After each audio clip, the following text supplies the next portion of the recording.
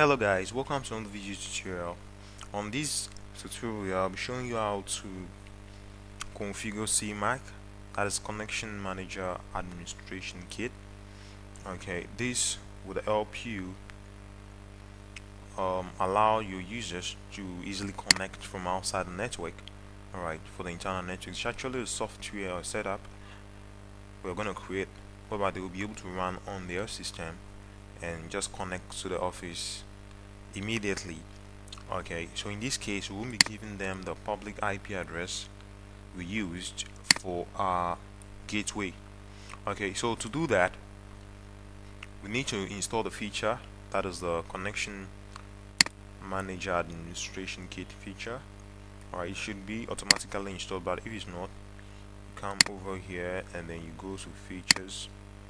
Alright as you can see over here we have RAS connection manager administration kit already installed because we've configured VPN already so if you've not configured VPN you should look around the video on my channel on how VPN is configured. So after configure after installing this okay we can easily cancel this. And then enlarge this you can easily go to tools over here. And then you see here we have connection manager administration kit. Click on that. And then we're gonna go through this next now here we have select the target operating system. So you need to know the type of operating system that you're creating it for. If it's for Windows Vista 7 and above then you can go for this first option. But below then you can come for this option. So we're gonna go for the app the first option there go for next. Alright and then we're going to create a new profile because we don't have an existing one. And here that is the name that will appear the connection manager okay you can just give a good name of your company name to that so I'm just to type the the Vincent Tech blog. Alright and the file name it shouldn't have space. So I'm just go for VPN VPN setup. Alright and then you can go for next. Alright and here it says specify the realm name now that is if we're creating these for a particular user that's a specific user then we can type in the username here. Okay that is the username at the domain name dot at the domain name. Alright but we are not doing that so we're just going to go for do not use realm name and go for next. And then here it says merge information to other profiles. We don't have any other any existing profile so we're just gonna go next and then here we'll go for phone book from the file and then we'll select always use the same VPN server.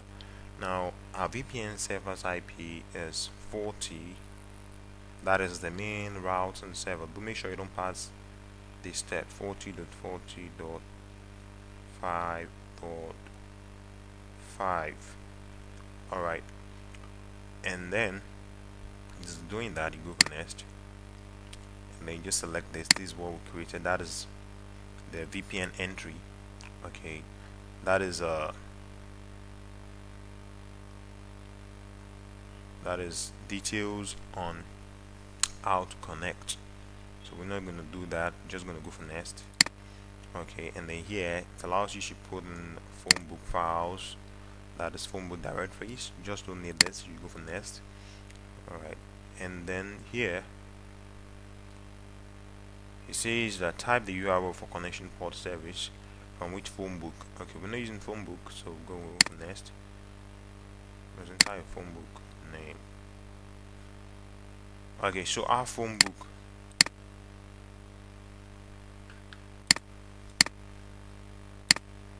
So yeah she specified the name of the phone book that you want the server to update. Okay we're not using that but it's necessary for us to enter something over here so we're just going to type in there um, MTN alright that is not MTN why MTN let's use uh, VTB that is Vincent Technology Blog.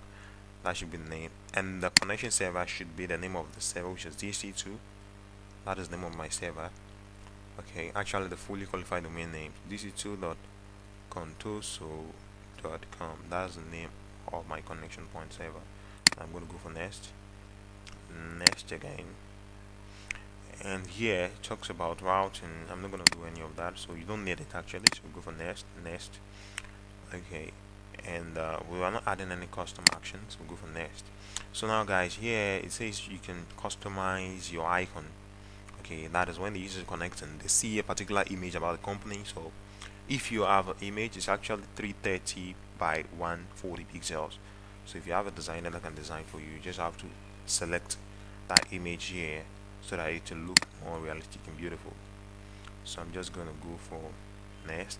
I want to use default graphic and then also for the other side image you can also design that as well. I'm going to go for next.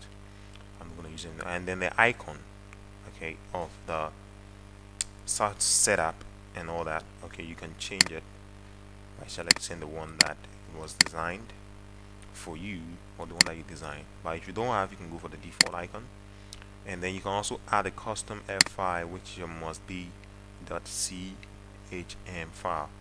That's in the notepad file or something. That is can to, to help direct the users on what they can do.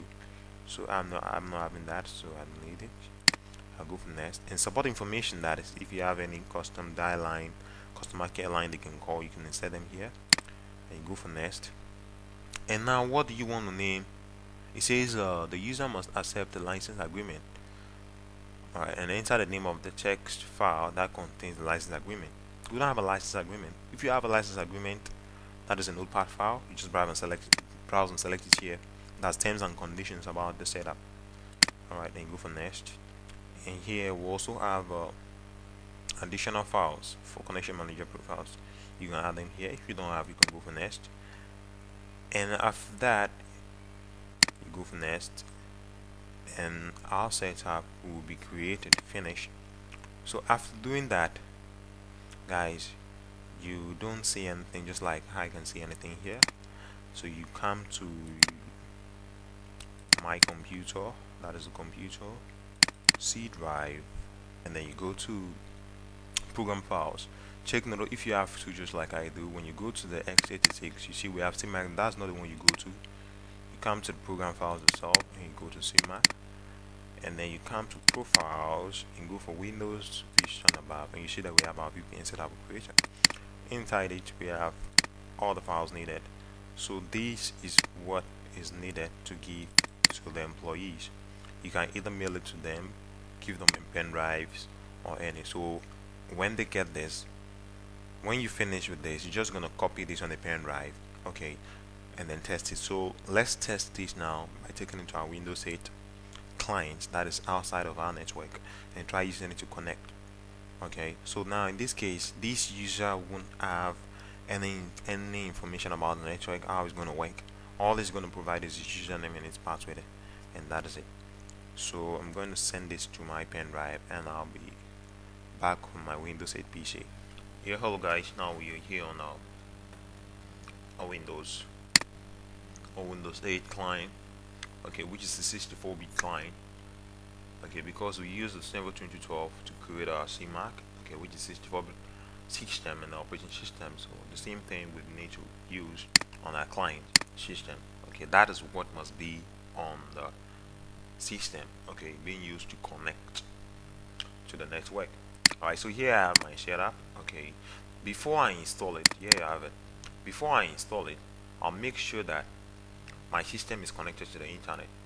Alright if you if you follow the a VPN configuration this system must be on the internet. Alright to make it be on the internet on a virtual purpose. Okay this is what I'm gonna do.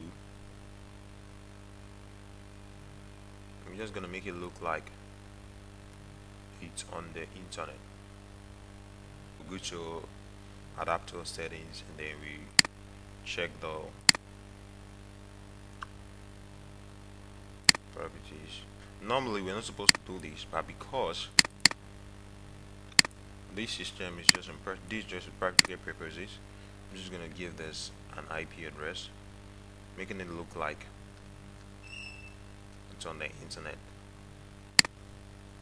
Okay in the real world environment you don't need to do these settings at all. Okay just give it this okay and then you go for okay and okay. Alright and then you just close just making it look like it's on the internet. Alright because it's now on the same network with that uh, VPN server. Now we're just gonna come over to our setup the VPN setup. Run it. If you remember I will call the VPN Tech Black and then you go for yes you want to install go for all users if necessary. If you want and then you go for my use only. That's what I want to go for. And should give a shortcut on the desktop okay right so we're gonna double that is it here. We've just double click and we just installed it. Here you have it. You can easily right click on these and then go for create shortcut on the desktop. So close and close this. Here we have it. Now when we double click on this it asks to connect through here. And then we can type in our password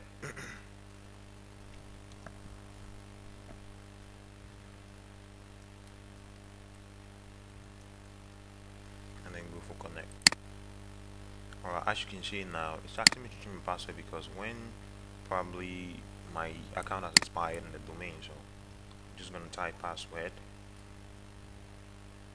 that I want to give to it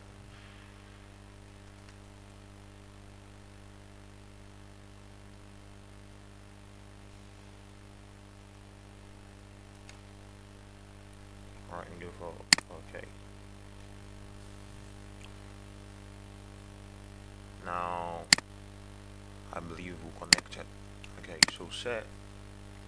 So without any idea about network gateway IP or anything we're given the software from this administrator and we're able to connect by just installing the software. First of all connecting to the internet and then installing the software and typing our credentials to connect. That is how easy it is.